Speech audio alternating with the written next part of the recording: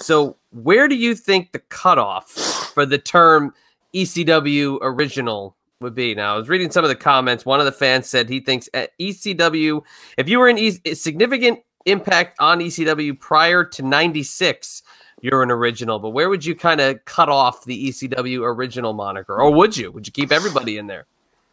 You know, to be honestly, I, it would be nice to keep everyone in there and keep everyone as ECW originals, but 97 is the cutoff for me. You were there after 97. I don't know. It's it's. I can't consider you an original original. I really consider '97 like the cutoff point as far as being an original. I know, like Chris Chetti could say, you know, he's an original. Rhino technically was trained before there, whatever. Yeah, Rhino. Mm, yeah, yeah. Oh, PJ, the world base, champion. P- yeah, PJ almost falls into that. Well, he was there in '97, late '97. Late '97, um, yeah, okay. But yeah, so I mean, I I count that uh, basically. So you're saying '97, so '98 forward, I kind of. But then you got to throw in. I don't know. Rhino was a champion, and Corino was a champion, and Jerry Lynn was a champion, and how could you not consider them original? So it's kind of like, kind of touch and go. It's almost like all those guys should be ECW originals. Shane, what do you think? Well, I've always seen it as like almost like different classes, right? You know, so like the the, the original class that came in '93 and then '94, uh, I th- those are the guys that I consider the originals. You know, your Terry Funks, your Sabu's, Sandman. Sandman says something the other day on that uh, on the the uh, the the internet the uh, cable show that we were on the other day that I, I hadn't realized until he said it. and I thought about it. and I thought he's right. He was the longest tenured person in ECW. Uh, he was there before Joel Goodhart sold it to Todd Gordon, and you know preceded you know me, Funk, uh, Taz, Tommy Dreamer, Raven, all of us. Uh, but that original group, and, and you know, I, the reason I consider that the original, when I say the, the, the, phrase original, was we were the ones that built the company from scratch. Uh, you know, there was a I don't want to say a painful period, but there was a, a rough period that ECW had to go through where you know you could see Paul being again in this one instance way ahead of the uh, of the curve, where you had Jimmy Snuka and Don Muraco and uh, uh, you know so many of those greats from the previous generation. And Paul knew that he couldn't really build on that. These guys were seeing the sun set on their careers, and Paul had a much longer vision of ECW. Uh, you know, so going back to 93, early 94 and saying, okay, we're going to fire a, uh, a Don Muraco or a uh, Jimmy Snuka or a Road Warrior Animal uh, Hawk, uh, you know, or whoever from that generation, and then bring in these guys that 99% of America had never seen before, a Sabu or you know the Rey Mysterios and Super Crazies and uh, you know, guys like that. You know, on paper that looked like a really numbskull move, and God, it turned out to be like the magic dust in ECW. You know, so I, I consider those those of us that were there originally to be the originals because, you know, we saw it go from a company that you know for the first couple shows had 100 150 175 people at we would stand out on the front sidewalk and hand out coupons for free beer and hot dogs that night and it was several months in, three, two, three, four months, like in that range, where suddenly the ECW arena show every three weeks was starting to sell out and then sell out in advance.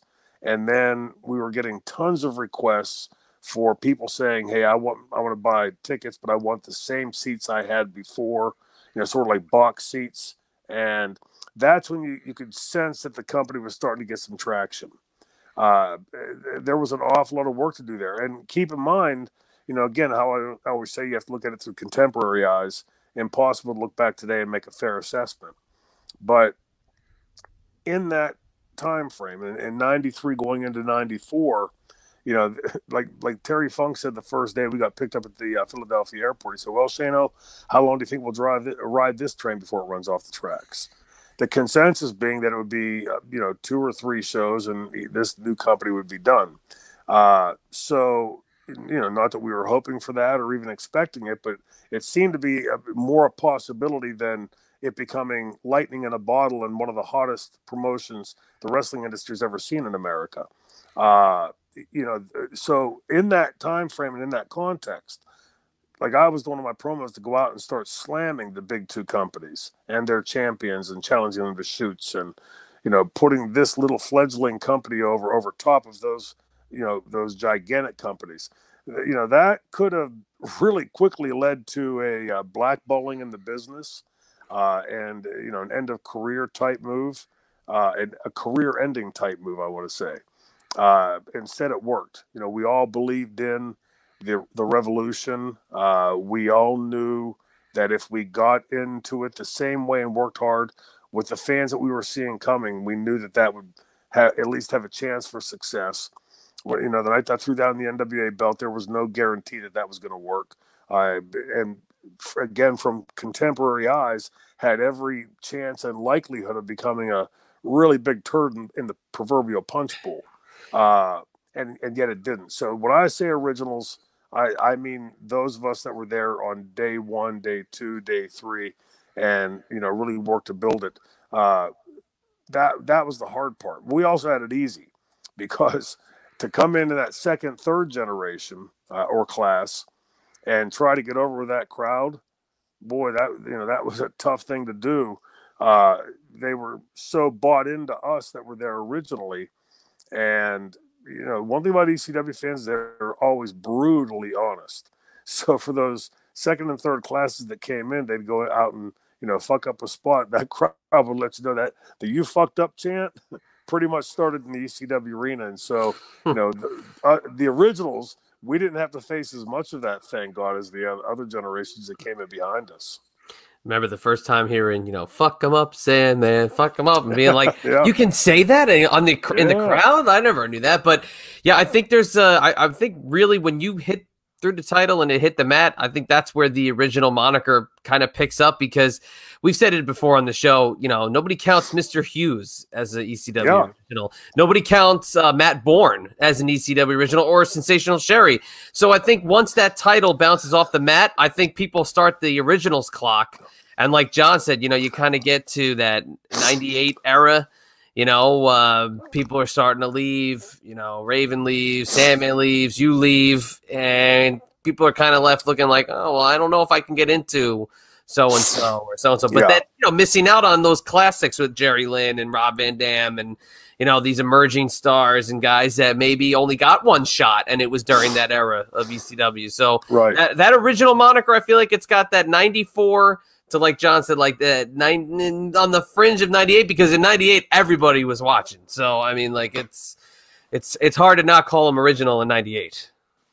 Uh, I, I, guess you know again from having been there, it seems to me that you know it, you identify it in your head as hey these, these these are the men and women that were here originally. Then these other ones came in after. Not they were lesser or not as good. They they brought in some incredible talent with them. Uh, you know, I remember the night that uh, Lance Storm debuted. You know, I love Lance to death. Uh, he's an incredible in ring uh, talent, a, a, true technician. But because his his personality on screen, you know, it's by ECW standards a little on the bland side.